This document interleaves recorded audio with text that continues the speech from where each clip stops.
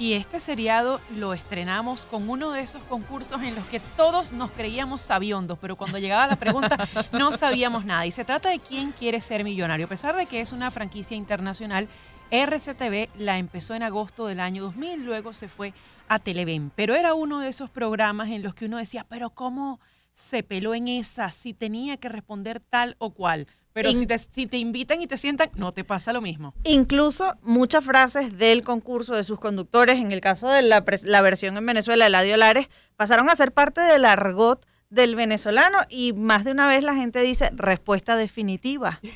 Para hablar de quién quiere ser millonario en nuestro país, recibimos en el estudio a Tibisaya Asensio, quien es productora de televisión y tuvo la oportunidad de trabajar en la producción de ¿Quién quiere ser millonario? en Radio Caracas Televisión. Bienvenida Tibisay, es un gusto conversar contigo y recordar este programa de televisión tan querido por todos los venezolanos. Bienvenida, ¿cómo está?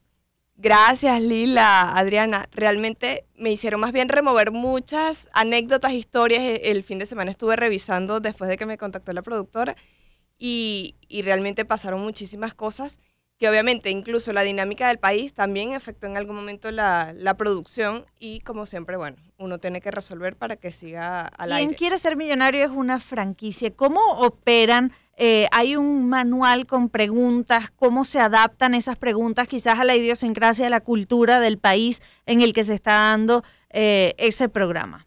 Nosotros teníamos dos unidades, era la unidad de producción que llevamos toda como la parte operativa, la conexión con todos los este, participantes, teníamos incluso lo que era como un cuestionario de preguntas para conocerlos un poco y que poder darle información útil al conductor, ¿no? que en este caso era el doctor Eladio. Y estaba la unidad de preguntas que eh, lo llevaba el equipo de investigación. Ellos tenían la responsabilidad de que cada pregunta tuviese al menos tres confirmaciones de fuentes diversas porque bueno, como sabemos hay ocasiones en que es válida una u otra, entonces tenías que tener tres por cada una y por nivel de dificultad, que se acuerdan que era del 1 al, al 15. Divisay, en algún momento el responder, como decía Lila, a una franquicia llevaba a respetar algún criterio, cosas que se podían y cosas que no se podían hacer para que cuadrara en el marco de eso que el Reino Unido creó? Sí, incluso a nivel creativo, uno como productor siempre tienes ideas de que quieres hacer de repente algo distinto, innovar y hay cosas que no podíamos. Incluso, no sé si recuerdan incluso nuestros oyentes cómo era la dinámica de, lo que es la iluminación, el sonido, todo tenía una pauta. Nosotros básicamente en los momentos en que nos salimos un poco, digamos, del formato, pero estaba permitido, este, fue con un especial infantil este, pero era algo muy puntual. O sea, nosotros, por ejemplo, yo recuerdo que quería hacer un especial de cine. No se podía, o sea, tenía que ser, digamos, bajo esa estructura. Y así se mantuvo en RCTV y después cuando estuvo en Televen. Nos acompaña Tibisay Asensio, quien es productora de televisión, tuvo más la oportunidad de ser parte del equipo, productor de Quien Quiere Ser Millonario en nuestro país, que tuvo además a varios ganadores. El segundo ganador de Quien Quiere Ser Millonario en Venezuela, Antonio Ríos, en el año 2002 nos ha contado lo siguiente. Escuchemos. Con respecto a mi participación en Quien quiere ser millonario, debo comentarles que la misma fue bien particular. Desde el momento en que me llamaron para decirme que había sido preseleccionado, me dijeron, bueno, mire, este, tienes 20 segundos para responder, son dos preguntas, cinco opciones, yo recuerdo que estaba manejando y pedí, oye, déjeme estacionar por lo menos para responder correctamente. Entonces, la, primera pregunta fue, ¿en cuál de estos lugares desembarcó Colón el 12 de octubre de 1492? Yo respondo, eh, bueno, San Salvador Guananí. Luego la segunda pregunta era, ¿en cuál es el, el aproximado en kilómetros cuadrados de la superficie del estado Cojedes? Bueno, respondí correctamente, gracias a Dios. Cuando llego a Caracas y estuve en los ensayos de la mente más rápida, no llegaba de primero ensayando. Hubo varios participantes, cuando dijeron un participante más, yo pensaba que no iba para el baile. Bueno, pensé con los dedos más que con el cerebro y eso fue lo, que me hizo llegar a participar. Eh, en la pregunta 5, yo utilicé mi primer comodín, que fue el de la audiencia pero lo utilicé por los nervios. Eh, miren, eso es como una sensación de un corrientazo cuando te dicen que quedaste en la mente más rápida. Yo todavía estaba en shock. Luego en la pregunta 8, yo utilicé mi segundo comodín de 50 y 50. Allí me preguntaron que cuál era el nombre comercial del sildenafil, yo no lo tenía claro. Pero bueno, eh, el 50 y 50 resolvió. Quedé para la semana entrante. Eh, vino otra pregunta y yo en parte relaciono mi participación en ¿Quién quiere ser millonario? con la película Slumdog Millionaire, con la película esta de ¿Quién quiere ser millonario? Porque me pasaron muchas cosas. Una de ellas fue que estaba yo revisando la biblioteca de mi casa la semana antes, porque ahí no saben qué te van a preguntar y no hay un manual de preguntas en ese programa, no hay nada. Entonces veo que aparecen dos libros, eh, Cruzando el umbral de la esperanza y Queridísimos jóvenes de Juan Pablo II y entonces la pregunta era, ¿cuál de estos papas fue el primero en visitar una mezquita? Bueno, gracias a Dios respondí correctamente. Eh, ese hecho reforzó mi respuesta. Eh, era, fue Juan Pablo II. Eso fue una experiencia muy interesante. Eh, lo, más interesante del todo era que, bueno, miren, me pasaron muchas cosas también durante esas preguntas, porque yo en la 14 estaba tan tranquilo, pero creo que todos los demás estaban tensos. Yo, bueno, me dijo el, del servicio médico de Radio Caracas que, que, lo puse a trabajar porque había gente nerviosa y yo estaba como en neutro. En la pregunta 14, que tenía duda, eran en ese momento 50 millones y un carro. La pregunta era que dónde está ubicado eh, Uluru o mejor conocidos como Ayers Rock, esas montañas que están en Australia. Entonces había varias opciones que, generaban dudas. Pero bueno, respondí correctamente. Entonces, bueno, eso fue sorpresivo. Yo me gané lo que me gané en ese entonces eran 108 millones menos el impuesto y, y una camioneta Hyundai y todavía no lo creía. Yo creo que me pellizcaba y decía, bueno, esto será de verdad. Estaba soñando, me sentí muy contento, muy feliz y la verdad que fue una experiencia muy bonita e irrepetible. 50 millones y un carro se ganó Antonio Ríos, el segundo triunfador en Quién quiere ser millonario en 2002. Pero Antonio además ayudó a otro a ser el ganador cuando te decían usar un comodín, quiere llamar a un amigo. Bueno, Antonio Ríos fue el amigo de Samuel Gómez, el participante, quien fue el participante en el año 2014, a quien también vamos a escuchar sobre su experiencia en Quién quiere ser millonario. Muy buenos días a todo el equipo de Zona Éxitos. Mi nombre es Samuel Gómez y bueno, voy a, a narrar lo que fue mi experiencia en el paso por Quién quiere ser millonario por allá en el año 2014. Pude acceder al programa a través de, primeramente, de un mensaje de texto, el cual acerté la opción correcta. Luego me llamó alguien de producción, me hizo una pregunta, tenía 10 segundos para contestar y era sobre una fecha de una película. Tuve la suerte de acertar y bueno, ya eso me permitió estar ya en el programa como tal. El equipo de producción siempre nos pagó lo que fue el hospedaje, los pasajes, eh, las comidas. Realmente fue un trato excelente el de toda la producción. El, el, día ya de la grabación pude pasar de primero porque se trataba sobre una canción de Ricardo Arjona que estaba muy de moda y que mi esposa escuchaba mucho y obviamente me sabía yo la letra y bueno, pude hacerlo más rápido en lo que era la mente más rápida y pasar de primero ese día en la grabación. De los tres comodines eh, tuve la suerte de llamar a a un amigo mío llamado Antonio Ríos, que había ganado todas las 15 preguntas, había ganado todo el programa porque acertó las 15 preguntas y se ganó todo el dinero más una camioneta. Realmente fue, fue una experiencia muy bonita poder llamar a mi amigo en esa misma condición. Lamentablemente me retiré en la pregunta número 12 porque, bueno, cobardemente no estaba seguro, aunque tenía la opción en un 90% de que era la que yo pensaba me retiré y bueno, ciertamente era la que yo pensaba y bueno, ese guayado me duró como dos meses más, más o menos. Eh, debo acotar la gentileza del doctor Gelayo Lares, realmente todo un caballero, todo un profesional, siempre con un trato muy educado y, y ojalá este programa pueda volver a las pantallas de todos los venezolanos porque aparte que entretiene, es un programa que educa mucho, es de los, los programas que deben estar sí o sí en la pantalla del venezolano. Samuel Gómez llegó hasta la pregunta 12, que eso era bastante dinero en ese entonces, pero decías Tibisay Tibisay Asensio que nos acompaña hoy en este primer capítulo del seriado Los programas que nos pusieron a jugar hablando hoy de quién quiere ser millonario. Tibisay Asensio fue productora por cinco años de quién quiere ser millonario, que la crisis también, bueno, penetra el concurso. Yo recuerdo aquel momento en el que ofrecían incluso como que eh, si llegabas a la pregunta tal, te ganabas un colchón. O si llegabas a la pregunta más allá, era una sábana cortesía de, no recuerdo la empresa. Pero, ¿qué, ¿qué retos significó para la producción la crisis económica?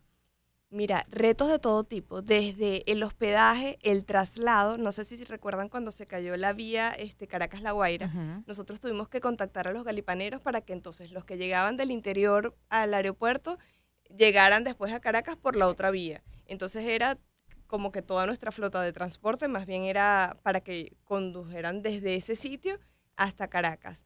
Y obviamente ya llegó un punto en que el premio no era tan atractivo, se tuvo obviamente que ajustar, incluso la cuarta ganadora que este, yo estuve allí era Zulay Marcano, que fue la, la, la única mujer, una zuliana, y ya no eran 100 mil el premio mayor, sino eran ya los 200 mil millones. Entonces, claro, ahí tú ves la brecha de cómo empiezas con 100 mil como el premio mayor a pasar a 200 mil. 100 millones. Ujú, Tibisay, 100 millones. cuando estamos hablando de, de quién quiere ser millonario, es un programa que estaba presente en el hogar de todos los venezolanos y la gente lo vivía además con mucho cariño, como, es el título del enunciado de este seriado, nos pusieron a jugar a todos en nuestras casas. ¿Cómo era para ustedes ser parte de esa producción que era el tema de conversación en las panaderías, en las estaciones de servicio, que todo el mundo estaba atento a, a esas respuestas, a esos concursantes, las buenas y las desafortunadas, que también quedaron en nuestra memoria y hay más de una. Uf,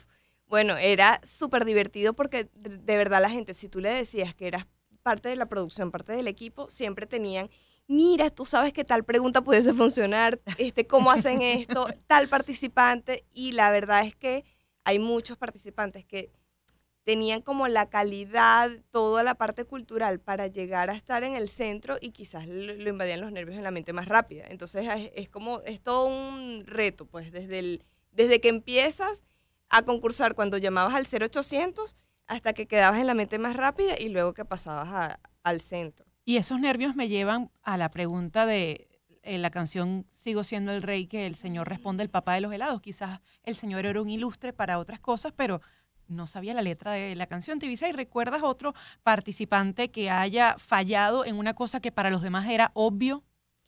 Mira, es que él fue el más emblemático, la verdad. Este, mm, hay muchos casos en los que cuando no llegaban ni siquiera a una pregunta bajita, incluso literalmente, como decimos, o sea, se editaba para que no, no saliera y no, no Para que no tuviese que, mal. sufrir, sí. porque realmente creo que los nervios te juegan mucho en contra, porque el hecho de que estés allí ya significa eso, que tienes un nivel de conocimiento, pero no significa que los nervios te jueguen a favor o los puedas dominar para.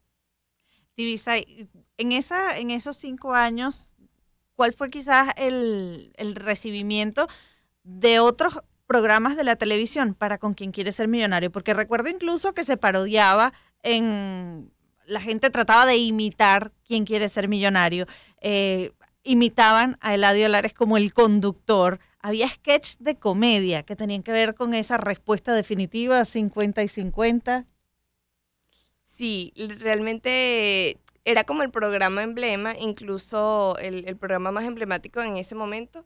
Y, y siempre estaban como este el equipo de Radio Rochela también como tratando de este, imitar todo. Inclusive una vez hicimos un programa también que era un especial con artistas y, y era muy divertido porque era como la farándula tratando de, de- de entrar en esa dinámica allí de, de preguntas.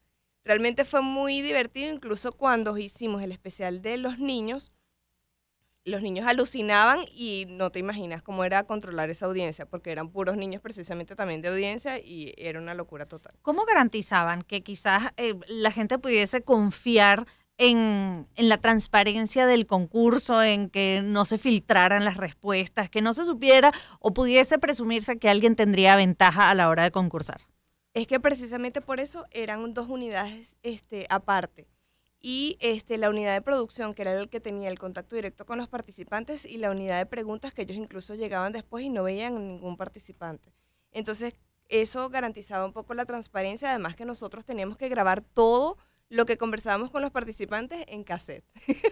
y estos cassettes los tenemos que llevar a la consultoría jurídica, todo respaldado. O sea, de verdad es un proceso súper distinto a lo que pudiese ser quizás otra producción de otro reality, porque tenía que ser eso, muy cuidadoso para tenerse siempre credibilidad. Y eso era parte de, de ese libro de condiciones de la franquicia original. Sí, Que por cierto, Tibisa, y no sé si estaba prohibido que familiares o amigos de ustedes participaran. sí, correcto. O sea, nosotros teníamos este como cancelado, ¿sabes? Todo vínculo. Mira, no sé, hasta la cuarta generación. o sea, nadie que tuviese algún vínculo así sea cercano poco cercano, pero que te conociera, iba a ser todo un tema que pudiese participar. Ahora que decías, eh, eh, o Lila decía que se parodiaba mucho quién quiere ser millonario, yo recuerdo que en la Universidad Católica Andrés Bello, la Escuela de Relaciones Industriales, en el año 2000 algo, 2001 quizás, hizo un quién quiere ser millonario en el cafetín de la Católica para recaudar fondos y yo gané ese quién quiere ser millonario. Oye, Adriana, Ah, no te la voy a quinta llevarte al original. Después de Zulay Mercano. Ya a título personal, Tibisay, ¿qué representa para ti quien quiere ser millonario? Cuando después tuviste la oportunidad de ver Slumdog Millionaire, la película eh, a la que hizo referencia Antonio Ríos, ese segundo ganador en el año 2002 que nos dio su testimonio, ¿qué es para ti decir yo estuve allí, yo trabajé en un programa como este que, que ha tenido tanto impacto? Mira, realmente siento que es como el modelo de lo que deberían ser muchas producciones de televisión. Sabemos que este, hay producciones que son quizás más show y dejan un poco el aprendizaje de lado. Y aquí lo divertido era que podías conjugar las dos cosas y que siempre llegó a ser como una referencia, pero una referencia que por ser educativa no dejaba de ser este, divertida. Entonces creo que sería ideal que pudiésemos como poder hacer alguna analogía de algún programa que realmente te deje algo más allá que solo el show, ¿no? Del ¿Cómo- reality. ¿Cómo garantizaban que atendieran los amigos en el comodín de llamar a un amigo? Eso era súper estresante.